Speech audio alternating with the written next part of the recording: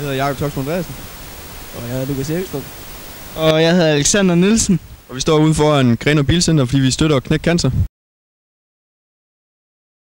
Vi har øh, vasket 10 biler, imens vi har været ude sådan cirka, måske 11. Og ja, så har vi drukket en masse kaffe og hygget os. Det er nok mig. Jeg synes, øh, mig og Lukas, vi har lavet rigtig meget. Øh, Alexander, han er egentlig bare gået og kommet slik. Øh, jeg har kørt, kørt biler, og Lukas han er støvsuget, og så...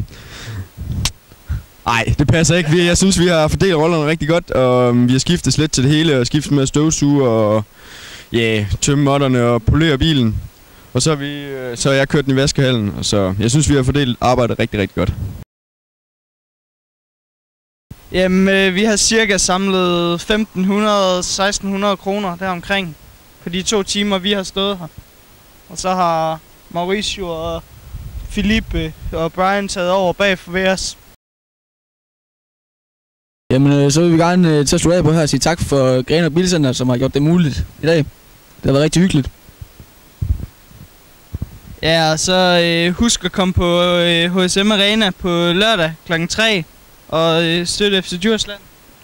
Hvor at, øh, vi kan sikre os øh, oprykning til Jylland Serie 1, som der er rigtig vigtigt for os at komme derop.